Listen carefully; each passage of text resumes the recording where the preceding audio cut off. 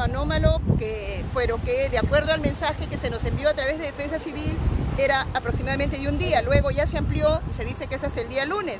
Estamos trabajando hasta la una y media, no había absolutamente nada porque se ha estado monitoreando.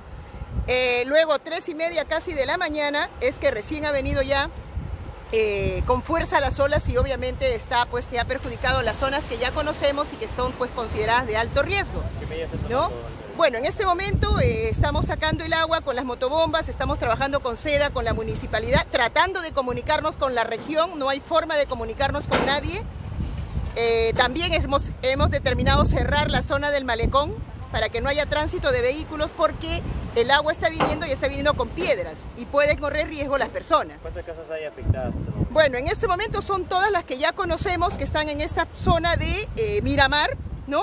Y la otra zona que es la Florida Baja y Florida Alta, que son las que estamos también trabajando desde horas de la madrugada. ¿no? Eh, estamos en este momento, hemos conseguido ya los sacos para proteger las viviendas. Vamos en este momento a eh, considerar una zona de albergue, el Club de la Alianza Miramar, ¿no? Vamos a traer colchones con defensa civil por si esto prosigue, obviamente tenemos que tomar eh, ya decisiones al respecto, evacuar a las personas que también se resisten a dejar sus viviendas, que ese es el otro tema que lo tenemos hace muchísimos años, ¿no? ¿Esto va a continuar hasta hoy día, hasta mañana? ¿Cuál es el Bueno, el pronóstico ahora es que va a continuar probablemente hasta el día lunes.